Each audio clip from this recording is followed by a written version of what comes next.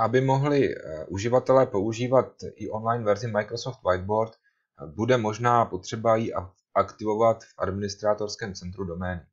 Je to velice jednoduché. Když se přihlásíte do administrace, tak v nastavení najdete Microsoft Whiteboard